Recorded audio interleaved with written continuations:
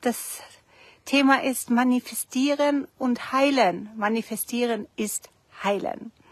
Weil wir sind, unser Körper, unsere Form ist eine Manifestation unseres Geistes. Und wir haben die Auswahl in einer, Dualität, äh, in einer dualen Welt, zwei Geisteshaltungen sozusagen auszuwählen, zwischen zwei Geisteshaltungen auszuwählen.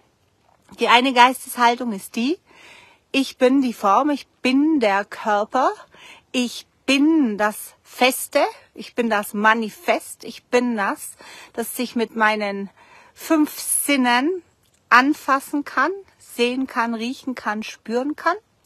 Und die zweite Geisteshaltung ist die Geisteshaltung, ich bin der Geist hinter der Form. Ich bin der Geist, der alles manifestiert. Ich bin der Gott, der Heilige Geist. Also wie du das nennen möchtest, das ist die zweite Perspektive, das ist die zweite Ansicht. Die eine Ansicht ist sozusagen von außen nach innen und die andere Ansicht ist von innen nach außen. Und die von außen nach innen Ansicht ist unsere generelle Ansicht, die wir gelehrt bekommen von unserem Umfeld, die alle Menschen tragen. Das, was ich nicht sehen kann, glaube ich nicht. Das ist doch so ein wichtiger Grundsatz. Ich glaube es erst, wenn ich es sehe. Und genau diese Haltung, diese Haltung, dass ich es erst sehen muss und dann glauben muss, hält mich also im Kreislauf fest hält mich darin fest, dass ich immer wieder das Gleiche sehe und das Gleiche glaube, vom Gleichen überzeugt bin und dann auch noch ganz frisch und fröhlich und glücklich bin, wenn ich ja recht habe. Ich habe es ja gesagt, ich habe es ja gewusst, ich habe es ich hab's ja vorausgesehen, bla bla bla. So sind die Dinge halt. Es ist, ist halt so, alles ähm, hängt so zusammen, ähm, wie wir das glauben. Und ja, dann kann sich nichts verändern dann manifestieren wir kleine Veränderungen. Dann manifestieren wir kleine Heilungen. Dann manifestieren wir kleine Verbesserungen. Aber sogenannte Quantensprünge manifestieren wir nicht. Und das ist genau das, worauf sich auch mein Video bezieht, das ich auf YouTube hochgeladen habe gestern, ähm, wo die eine mir dieses E-Mail geschickt hat und nach einem Update, ich glaube aber sie meinte ein Upgrade gesucht hat in ihrem Körper. Sie war auf einem Retreat und hat eben gehört, dass man da Updates oder besser gesagt, das heißt Upgrades vom Körper bekommt in diesen Retreats und diese Upgrades fühlen sich dann an wie ein Fieberschub oder eine, eine Erkältung, eine Grippe. Und sie hatte das eben nicht nach ihrem Retreat. Und jetzt glaubt sie, dass eben dieser Upgrade nicht passiert ist, dass ihr Körper sich nicht verändert hat, weil ich weiß ja, ich meine, ich habe das lange genug mitverfolgt in der Dr. Joe Dispenser Community und dann werden diese Sachen halt geteilt und ähm, diese Wunderheilungen und diese Upgrades und diese, diese schnelle Veränderung und man nimmt da immer Bezug auf den Retreat oder auf die Meditation.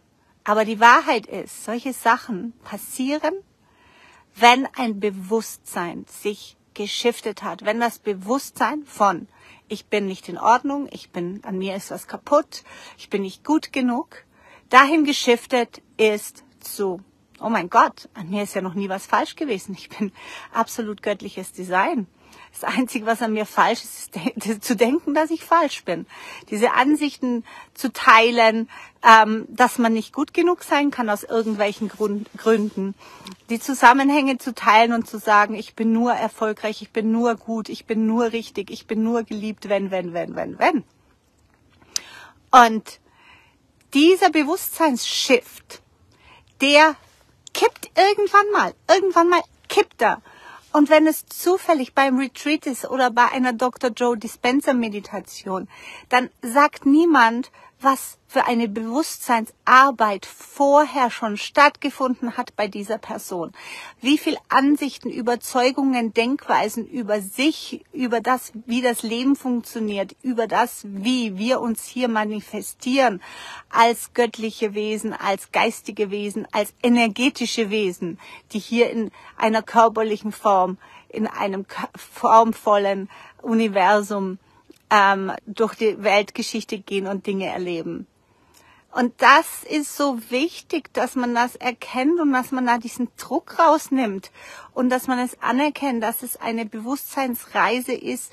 Ich nenne sie eben Divine Design Reise in das göttliche Bewusstsein, wo ich wirklich weiß, dass ich bedingungslos, grundlos, einfach nur, weil es einfach so ist, weil es ein Fakt ist, in absoluter perfekter Ordnung bin, in göttlicher Ordnung und göttlicher Versorgung, göttlicher Fülle, göttlicher Erfülltheit, göttlicher Liebe und göttlichem Reichtum. Egal was sich draußen zeigt und mein Ego meint, sich dafür Geschichten zusammenbastelt. Und mir ist es wichtig, dass die Leute, die wirklich jetzt hier noch körperliche Sachen haben, wo sie meinen, das müsste sich doch verändern, das müsste doch verändert sein, die Gesundheit muss doch eintreten, wenn ich diese ganze Arbeit gemacht habe, wenn ich brav war, wenn ich immer schön meditiert habe, dann muss es doch irgendwann mal diesen Upgrade geben und dann muss es doch diesen Rums geben. Und dann muss ich doch von jetzt auf nachher plötzlich muss sich die Waage geändert haben und ich habe diese Wunderheilung und so weiter und so fort. Und genau das ist das gleiche wie beim Manifestieren.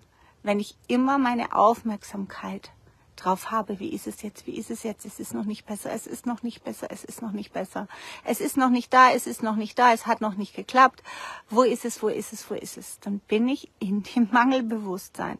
Dann bin ich in dem Bewusstsein, dass etwas mit mir nicht in Ordnung ist, dass etwas mangelt, dass etwas fehlt.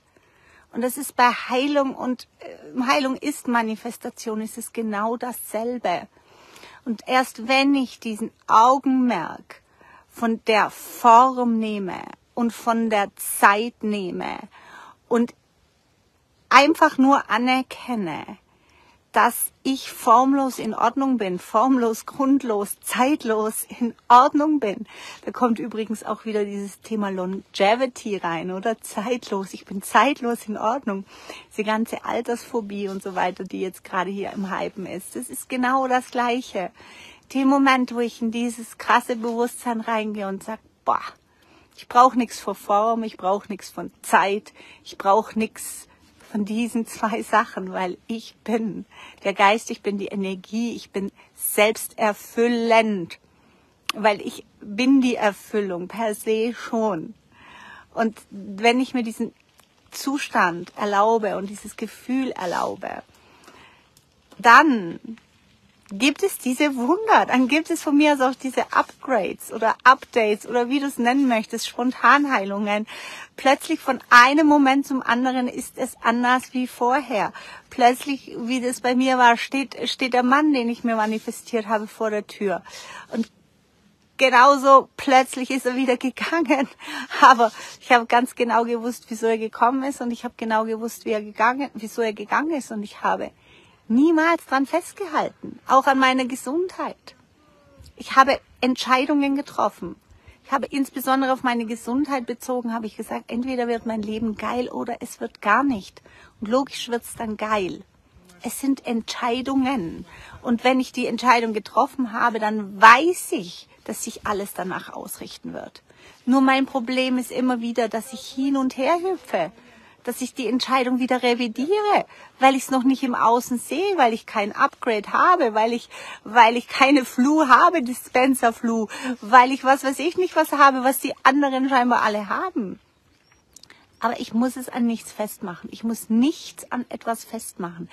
Und auch diese ganzen Geschichten Anzeichen zu suchen und so weiter. Das braucht nur unser Human Design Mind, unser analytischer Mind, unser Ego Design Mind, unser der, der, der einfach nicht verstehen will, dass es nur um Energie geht und dass es Energie keine Anzeichen hat. Was hast du denn für ein Anzeichen, wenn du das Licht anschaltest?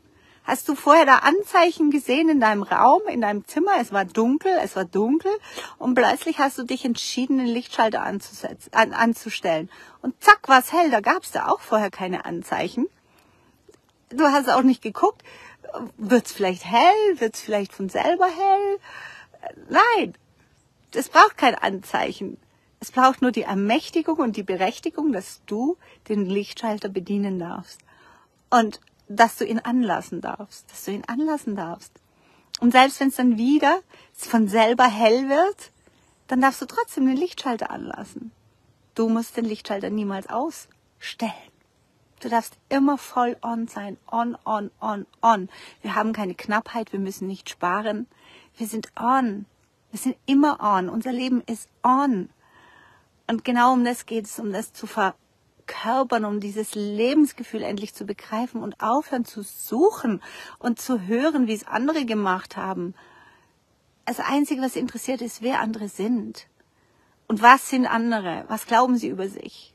Was haben sie für Überzeugungen über sich? Und manche haben eben einschränkendere Überzeugungen wie andere mitgekriegt.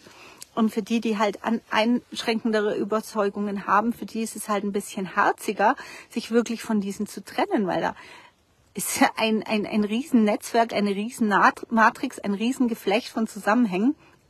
Ähm, wenn ich dann ein, zwei, drei aufgebe von diesen Zusammenhängen, dann kommen, kommen dann die nächsten zum Vorschein. Aber dass ich einfach sage, es gibt keinen Zusammenhang. Es gibt nur mich. Und ich bin das, was ich sage, was ich bin. Und ich bin perfekt, ich bin in Ordnung. Und in allerhöchster Ordnung. Ich bin geliebt, ich bin reich, ich bin versorgt, ich bin perfekt. Darum geht's.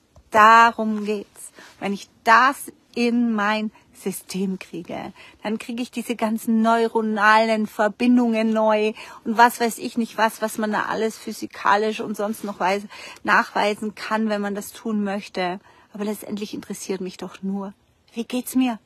Wie geht's mir? Ich bin erfüllt. Ich fühle mich wohl. Und deswegen heißt meine Firma, meine Firma, auch mein Brand, auch My Well Feeling. Weil um was anderes geht's doch nicht. Ich will mich doch einfach nur wohlfühlen. Der Rest ist doch scheißegal. Und wohlfühlen tue ich mich, wenn ich weiß, wer ich bin. Wenn ich weiß, dass ich keinen Mangel habe, keine Sorgen habe. Wenn ich, wenn ich weiß, es ist in Ordnung, es ist verdammt nochmal in Ordnung. Ja, in diesem Sinne, das war eine Ergänzung zu diesem YouTube-Video gerade hier, wo noch ganz, ganz viele Fans von Dr. Joe Dispenza ähm, da sind und ich bin auch Fan von Dr. Joe Dispenza. Aber es gibt einfach noch so viel mehr zu tun und zu verstehen und zu erkennen, als einfach nur zu warten, bis in der Meditation plötzlich einem das Licht aufgeht. Es gibt so viele Lichter, die uns aufgehen müssen, bis zu dem Weg, wo wir zweifellos anerkennen, wer wir sind und wie kraftvoll und machtvoll wir sind und dass wir die Manifestation unserer Welt und unseres Universums sind. Ganz alleine. Das ist verdammt alleine hier, da oben auf dem Manifestationsthron, wo je, nur jede Entscheidung und jede Ansicht und jede Überzeugung, die ich habe, zählt. Nur ich zähle. Ich bin. Ich bin, was ich bin. Alles klar, ihr Lieben?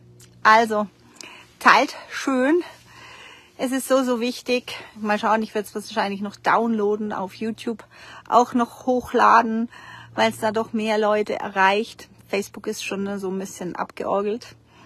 Und ähm, es ist so wichtig, nicht mehr in diese Fallen hineinzutappen und sich dann da drin im Kreise gefangen zu halten, ähm, weil man meint, es muss einen bestimmten Weg gehen, es muss einen bestimmten Update, Upgrade-Weg gehen, es muss bestimmte Zeichen sein, es muss irgendetwas sein, es muss gar nichts sein, nur du musst sein.